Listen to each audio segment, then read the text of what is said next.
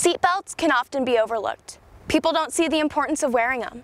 But people not wearing a seatbelt are 30 times more likely to be ejected from a vehicle during a crash.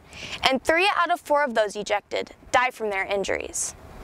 And a lot of the accidents we find, we'd have a lot of people that weren't wearing their seatbelts at the time, and which caused more uh, injuries and, and more deaths. In the last six years, 52% of car accident fatalities were unrestrained in Johnson County. In addition, seatbelt use in America has decreased since 2016. Despite this information, a Southwest senior had a life-changing accident in the fall of his sophomore year with a seatbelt that may have saved his life. I was stopping at a two-way stop, it was 191st in Antioch.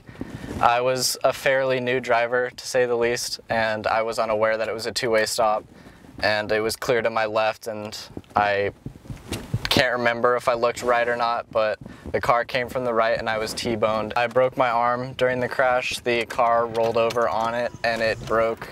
I had to wait for the firefighters to come get me out of the car because the seatbelt had locked when we were upside down. So my sisters were able to be cut out of the car because they had no immediate injuries. But having uh, an arm injury, nobody wanted to cut me down because they didn't know if I would fall on it and make it worse or if I had a neck or head injury. It was really stressful time because my sister was in the car with me. Luckily she was all right. So if we weren't wearing our seatbelts, it could have been a lot worse and I can't even imagine what would happen. Connor remembered to wear a seatbelt, but forgetting is the number one reason why people don't wear a seatbelt. And teens have the lowest use of all age groups.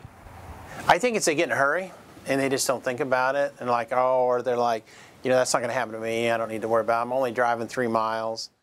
Wearing your seatbelt is a law for a reason. Taking a few seconds to buckle up may save your life. Reporting for Wolfbyte TV, I'm Lainey Caldwell with Alex Rains.